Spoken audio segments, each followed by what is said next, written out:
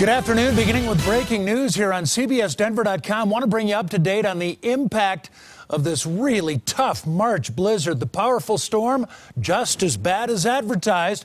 Interstates are shut down just outside the metro area. All the runways at DIA are shut down as well. I'm Jim Benemann, and the conditions so bad in Weld County, both the county and CDOT have stopped plowing.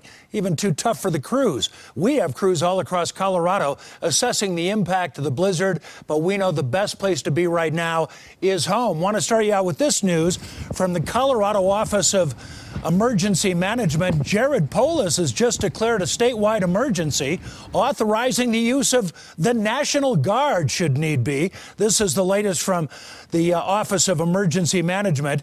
Will be activated for rescue and life saving operations, primarily focused on stranded motorists. The National Guard has been sent out, and we have got a lot of stranded motorists, some right there. Conditions dangerous. This is the scene on I-25 south of Denver today. Several vehicles slamming into one another. Several counties have now opened emergency centers and shelters. If you do have to travel, make sure that the roads that you want to be on are open before you leave.